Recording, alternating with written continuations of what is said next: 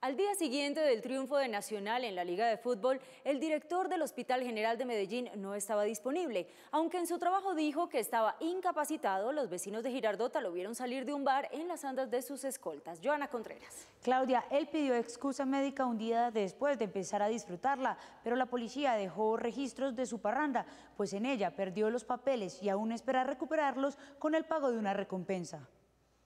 Las irregularidades en el Hospital General de Medellín, gerenciado por Jesús Eugenio Bustamante, tienen inquietos a los miembros de la Junta Directiva del Centro Médico, entre otras razones por las inasistencias del funcionario. Tenemos dificultades para desarrollar las juntas, por ejemplo, el día de ayer tuvimos junta eh, argumentando un tema de salud no se presentó.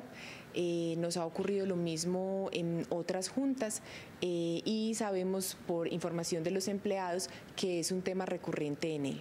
A los subalternos del gerente Bustamante también les extrañan sus incapacidades.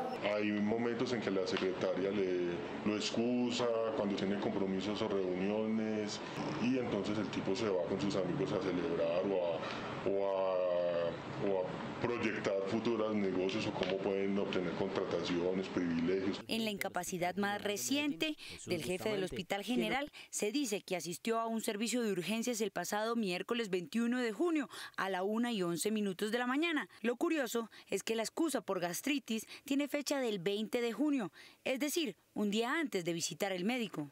Y a mí nadie, nadie me ha condenado por ser ladrón, corrupto, ni hacer parte de carruseles. La enfermedad deja mayores dudas después de que el gerente Bustamante fue visto el domingo 18 de junio, dos días antes de su incapacidad, departiendo en un bar en Girardot, Antioquia, celebrando el campeonato de Nacional entre música y licor.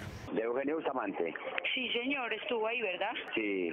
Eh, muy borracho, muy borracho, y que, que hasta se le habían perdido los documentos. De la fiesta, el gerente Bustamante salió sin papeles. Tuvo que poner el denuncio, como lo demuestra este documento, y además ofrecer una recompensa en el pueblo a quien diera razón de ellos. Soy el encargado de recibir los papeles, porque el hombre está allí en una finca. Tranquila que aquí se le da la recompensa. Para la Junta Directiva del Hospital, las irregularidades y cuestionamientos sobre la gestión de Eugenio Bustamante empeoran con el ausentismo y la falta de explicación, y por eso le pidieron la renuncia. No tengo la, en mi mente y en mi vocabulario y en mi escenario no aparece la, la palabra renuncia. Noticias 1 solicitó de nuevo una entrevista del gerente del hospital, Jesús Eugenio Bustamante, pero no fue posible obtener una respuesta.